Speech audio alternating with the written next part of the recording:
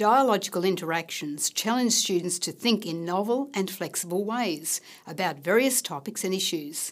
The language teachers use to communicate with students is critically important in helping students to understand what they are learning and how they can be effective learners.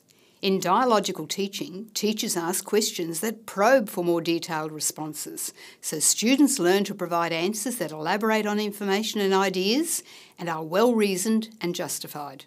Feedback is informative as well as encouraging in an environment that invites open discussion. Such an environment can be seen in small cooperating group situations, where teachers often use language that is more friendly and personal and more dialogic as they encourage students to elaborate on their ideas, build on what others have to say, and provide reasons and justifications for positions taken. Teachers are encouraged to use two types of discourse in classroom interactions. Authoritative discourse is used to direct students' learning to key points.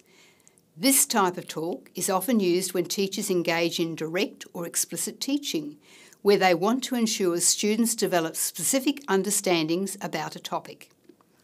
In dialogical discourse, teachers discuss topics of interest together with students.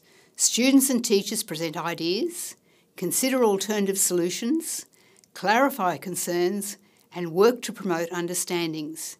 In so doing, they tend to engage in sustained interactions as they build on each other's ideas to develop lines of inquiry and thinking. Dialogical discourse often occurs in small cooperating groups where students are working on a problem solving task together. In this type of situation, students need to harness the potential of all group members, and this means listening to what others have to say, contributing ideas, challenging others' perspectives, and synthesising key points to arrive at an agreed solution or outcome. The teacher's role is to act as a facilitator, challenging and scaffolding students' ideas to help them develop a clear understanding of the topic. Now let's have a look at how Wendy Mercer uses both authoritative and dialogical talk in her classroom. As you watch, jot down each time Wendy shifts from one kind of talk to the other.